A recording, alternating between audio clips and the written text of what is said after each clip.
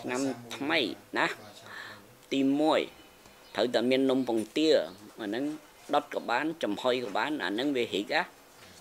ទី2មីគឺឲ្យម៉ែឪអាយុវែង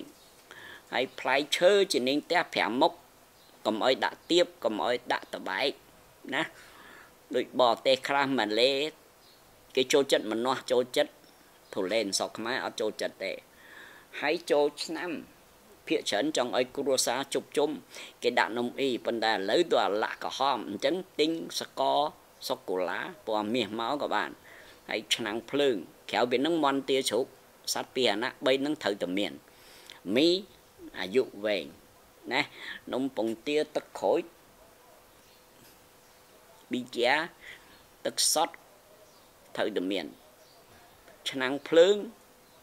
ឲ្យគូរសាជប់ជុំគ្នាឆាមី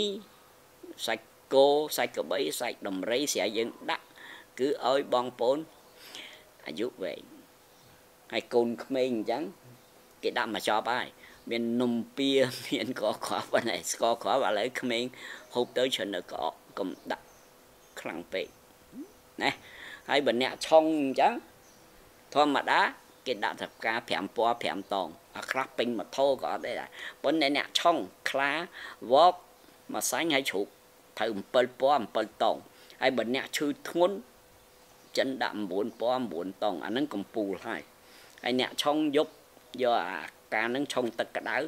ដើម្បីកុំឲ្យម្សៅហើយតកៅនៅក្នុងផ្កាហ្នឹងចូលខ្លួនយើងហើយលីទឹកត្រជាក់ផ្សៃពាក្យពីកនី ផោខោលីអូខ្មែរយើងហុំចិត្តអស់នៅជប៉ុនកូរ៉េស្រាត់ចិនគេលាក់អាបីហ្នឹងកុំឲ្យនេះដោះក្អែកគ្នាថើបគ្នាមុំមុំអូខេ